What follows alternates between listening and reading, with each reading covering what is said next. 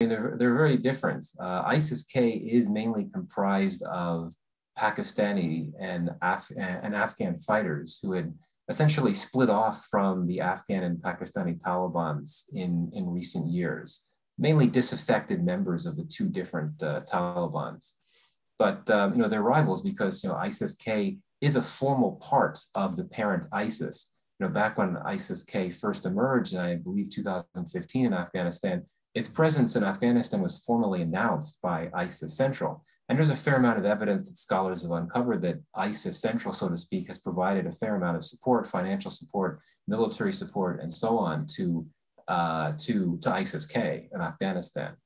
And so they, they are rivals. They're, they have literally been fighting each other. The Taliban in recent years has been going to war, so to speak, against ISIS um, fighters in Afghanistan. And uh, yeah, they are they are separate. They are rivals, and I think people sometimes get confused by the fact that you do have many former Taliban, including former Haqqani network fighters going over to ISIS-K. That I think makes some people believe that there's some sort of linkage between the Haqqanis, the broader Taliban, and, and ISIS-K. But that's not the case. They're two distinct organizations.